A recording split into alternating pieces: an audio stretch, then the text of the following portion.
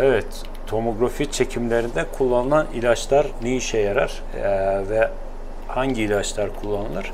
Bu ilaçlar niçin gidilir? Şimdi tomografi çekeceğimiz e, en çok bölgelerden bir tanesi batın kısmı, abdomen. Diğer bir kısım ise e, toraks kısmı. Yani bu iki yeri ilaçlı çekiyoruz. E, neden kullanılıyoruz? Şurada gösterdiğimiz gibi, böyle Sermet göstersin. E, şimdi buraya baktığımız zaman şuralar böyle beyaz görünüyor. Bakın şu beyaz gözüküyor. Şuralar beyaz gözüküyor. Şu beyaz gözüküyor. Şu beyaz gördüğümüz şey aslında damardan verilen şu ilaç. Yani şu damardan verilen şöyle bir ilaç. Bu böyle bir ilaç. Bu koldan veriliyor, damardan veriliyor. Bir de şurayı gösterelim. Sermet gösteriver. Mesela şu kısım mide kısmı. Bakın gri resmi. Burası hava. İşte burayı da dolduran suyla karıştırdığımız diğer bir ilaç. Şimdi bu e, ilaçlar ne yapıyor? Ayırıcı bir özellik gösteriyor. İşte mesela burada karaciğerin bazı noktalarını ne yapmış? Burada boyamış. Bazı yerler bakın beyaz gözüküyor. Bazı yerler siyah gri gözüküyor. İşte bunun ayırıcı özelliğe sahip olan ilaçlardır. İşte bu ilaçlar damardan verilen bu ilaç. Bir tane de ilaç şöyle yazılır. Ee, ya da bu da aynı yazılır. Aynı şekilde eğer karın veyahut da göğüs e, çekilecekse sadece böyle bir ilaç yazılır. Böyle göstereyim.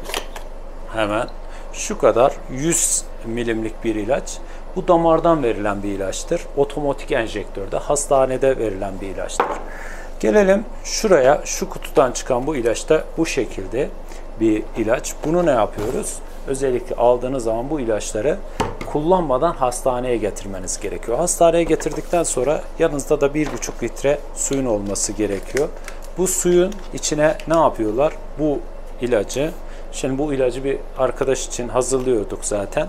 Hani hazırlarken dedik ki durun hem de e, birçok kişi özellikle ilacı yazıldıktan sonra eczanelerde bu ilaçların akşamdan içilip sabah hastaneye gidilmesi isteniyor. Bu yanlış uygulama. O hastanede hazırlanıyor bu ilaç. Şu şekilde bakın su sarıya döndü.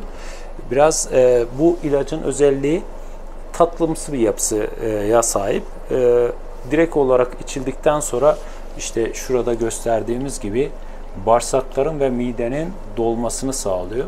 Diğer organlardan bakın buradan ne yapıyor? Diğer organın diğerinden ayrılmasını sağlıyor. Mesela karaciğerin diğerinden ayrılması bu organın birbirinden. Aslında bunlar negatif ve pozitif e, nelerdir? Ayraçlardır. Buna e, kontrast madde ajanları ne yapıyor? Ayırıcı özellikler olarak kullanılıyor. Bakın işte buradaki bağırsak yapılarındaki doku yapılarını gösteriyor, kalınlıklarını gösteriyor, birbirinden ayrılmasını sağlıyor.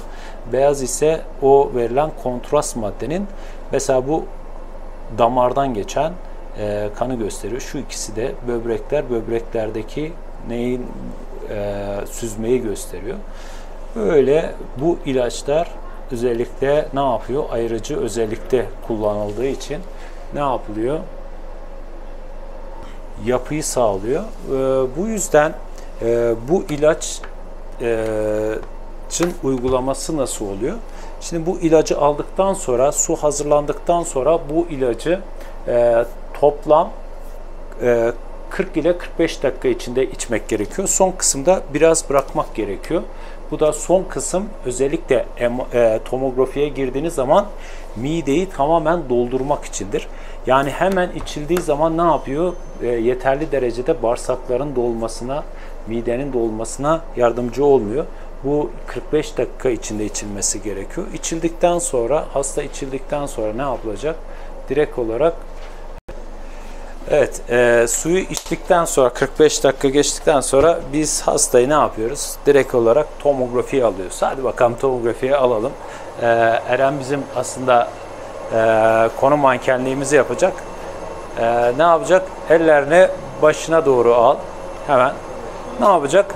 Aslında MR gibi değil, kolay bir çekim aslında baktığımız zaman. Sadece burada duracağı süre hastanın çok da fazla uzun bir süre değildir.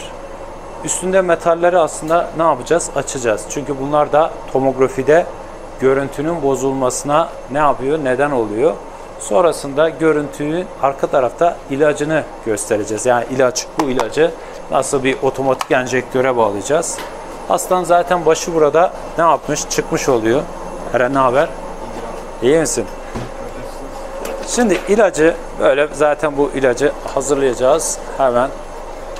Asıl e, unsur burada başlıyor. Bu ilaç e, vücudu ateşlendiren bir özelliğe sahip. Bir de şöyle bir şey damardan yüksek bir şiddetle veriyoruz. Yani buradan gösterelim öyle. Şimdi bu ilacı makineye çektikten sonra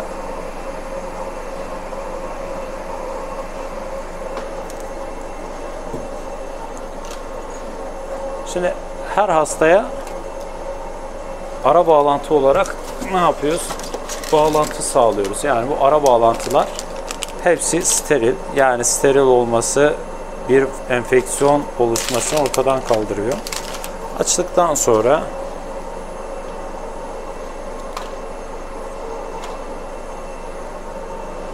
hemen bu burada oluşan havanın alınması gerekiyor. Hava giderse ne olur? Emboli oluşur. Bu yüzden havası tamamen alınıyor. Havası alındıktan sonra direkt olarak burada basınç e, da ayarlanıyor. Mesela burada ara kaç cc ile kaç pc basıncında olması ayarlandıktan sonra hemen hastaya direkt olarak buradan ne yapıyoruz? Bağlantıyı bu ara bağlantıyla sağladıktan sonra pozisyonu yapıyoruz. Hastaya sakin olmasını, işte bu ilacın e, vücudu e, ısıtabileceği, mide bulantısı yapabileceğini hastaya ifade ediyoruz. Sonrasında çekimimize gidip çekimimizi gerçekleştirmeye çalışıyoruz. E, toplam süre e, toplam süre çekim süresi yani normalde üst ab abdomen, alt abdomen e, eğer arteriyel faz alınmamışsa biz o zaman ven fazı alıyoruz. Ven fazı aldığımız zaman hemen Mustafa'yı da buradan çıkartacağız.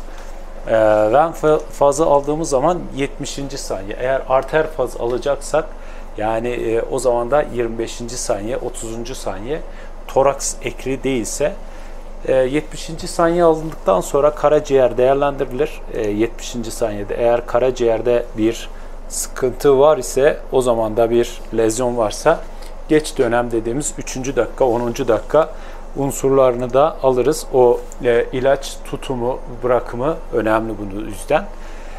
Genel olarak topladığımız zaman şunu ifade edelim. Bu ilaçları eczaneden alındığı zaman, bu iki ilaç alındığı zaman herhangi bir şekilde evde kullanılmadan direkt olarak hastaneye getiriliyor. Hastaneden bir buçuk litre su. Yani bazı yerlerde e, diğer ilaçtan iki tane alınıyor. O ilacın içine katılıyor. Yani çalışma yerine, çalışma e, raporlarına göre değişebiliyor. E, hekimin çalışmasıyla alakalı olarak değişebiliyor. Bu aslında tatlı bir e, yapıya sahip. E, direkt olarak laksatif bir e, etken madde. Diğer ilacın etken maddesi de ionoheksol.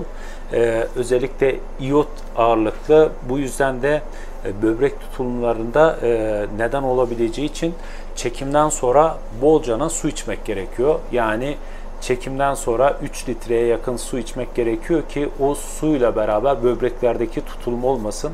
Daha çabuk o böbreklerden e, ionoheksol iot e, maddeleri dışarıya atılsın. E, bu da ne yapıyor? İçtikten sonra 45 e, 50 dakikadan sonra çekimden sonra bağırsaklarda büyük bir oranda e, hızlanma meydana geliyor. E, ishal yapabilen bir ilaç. Yani bu ishali de bir gün iki gün sürebilen bir durum. Yani bundan endişe edilecek bir durum yok.